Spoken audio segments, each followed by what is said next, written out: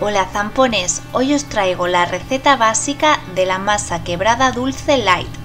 Tened en cuenta que la receta original de la masa quebrada lleva el doble de mantequilla y además no la utilizan light. Para conseguir masa suficiente para una base de 28 centímetros y una decoración de rejilla no muy tupida vamos a necesitar medio kilo de harina, 200 gramos de mantequilla light muy fría y cortada en cubitos o rallada. La cantidad de edulcorante equivalente a 80 gramos de azúcar. Yo voy a usar 8 gramos de edulcorante granulado de azúcar de caña natural de Dulcilight. 5 cucharadas de leche desnatada muy fría o agua. Media cucharadita de sal. Si queréis una masa quebrada salada, duplicad la cantidad de sal y retirad el edulcorante. Si queréis que la masa sea menos quebradiza le podéis añadir un huevo y otro para pintar la masa. Como este edulcorante con base de azúcar de caña natural tiene un granulado más grueso que el integral y me cuesta deshacerlo con las manos, voy a usar lo que es la maza del mortero para hacer un polvo fino junto con la sal. Aunque también podríamos utilizar perfectamente un molinillo de café. Una vez conseguida la textura deseada, tamizamos por encima la harina.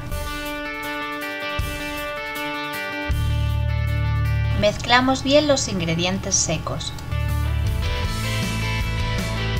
Añadimos la mantequilla light que debe estar cortada en cubitos o rallada pero muy muy fría y la vamos deshaciendo con el calor de nuestras manos a la vez que la mezclamos con la harina. Seguiremos mezclando hasta que no notemos ningún pegotón de mantequilla. Añadimos la leche o el agua, que también tienen que estar muy muy frías, y mezclamos muy bien.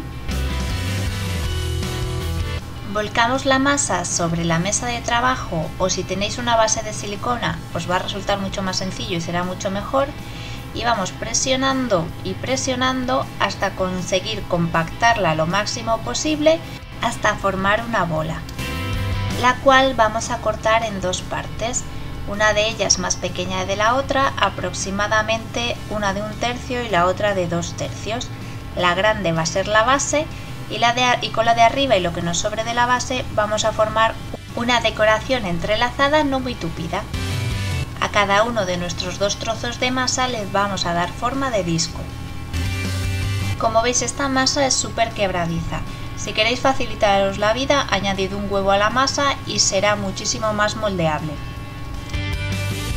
Una vez que tengamos nuestros dos discos de masa quebrada, los vamos a envolver con papel film y los vamos a llevar a la nevera durante al menos media hora. Pasado ese tiempo, nuestra masa se habrá endurecido y compactado.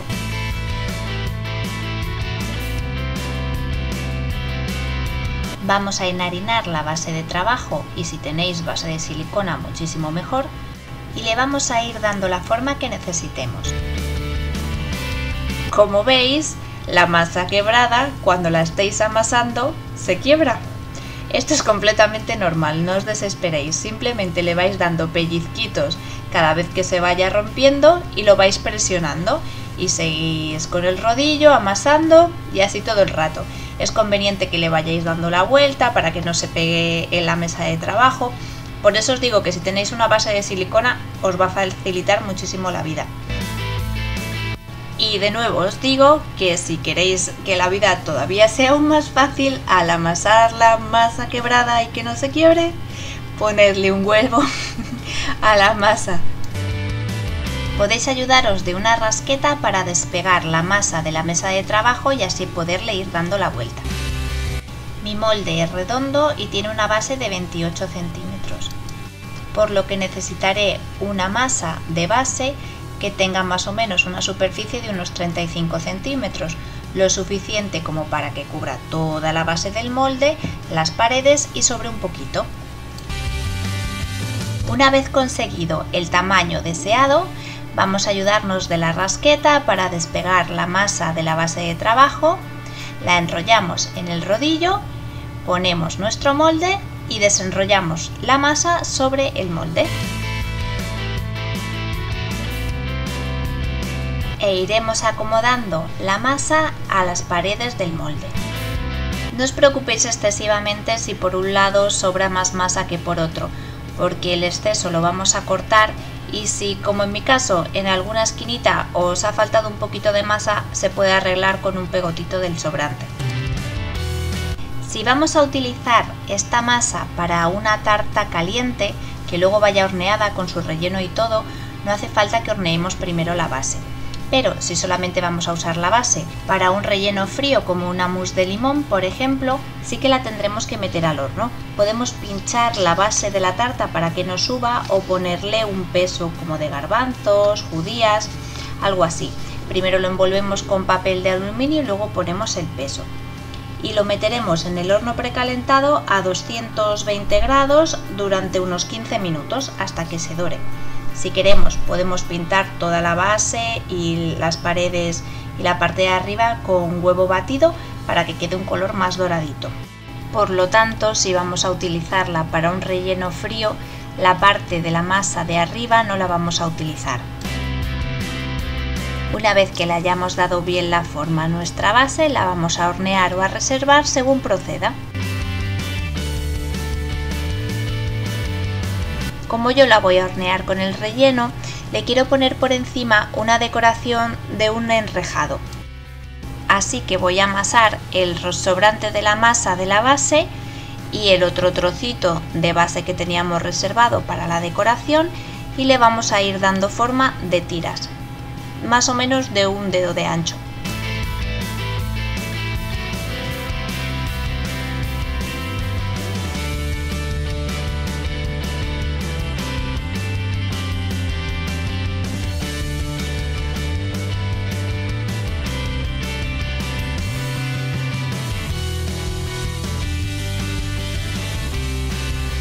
Como veis estoy haciendo una tarta de manzana estilo americano. Os voy a dejar aquí arriba a la derecha el enlace al relleno de la tarta. Ponemos 5 tiras de masa sobre la base ya rellenada y vamos a ir entrelazando con otras tiras de masa, tal y como vais viendo en el vídeo.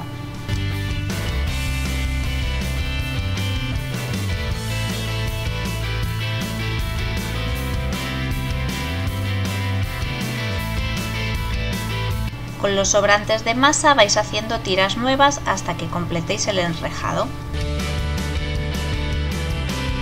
Cuando lo terminéis batís un huevo y pintáis bien toda la zona de masa. En el caso de esta tarta de manzana necesitará hornearse media hora a 200 grados o hasta que se dore. Y esta es la pintaza de nuestra masa quebrada light una vez horneada.